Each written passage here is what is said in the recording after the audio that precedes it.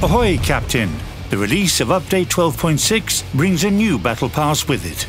This means that once again you have a great opportunity to earn Battle Pass points by completing daily and weekly combat missions, progress through the Battle Pass, and receive awesome rewards. Let's take a look at what's in store for you this time. Full ahead. The final reward of the free pass is 7 rare bonuses containers and 100 silver Spanish tokens. What are these new tokens, you might be wondering? I'll brief you about them. Update 12.6 delivers Spanish cruisers to early access.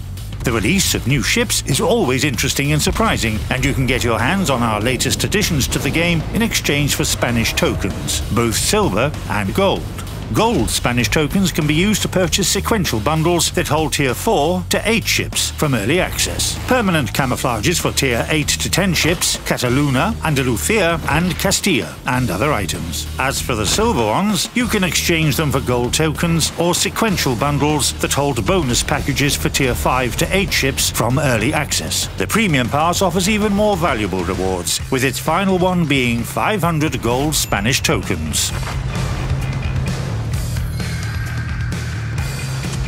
You can also obtain a large Battle Pass pack that unlocks the Premium Pass and seasonal bonuses throughout Update 12.6.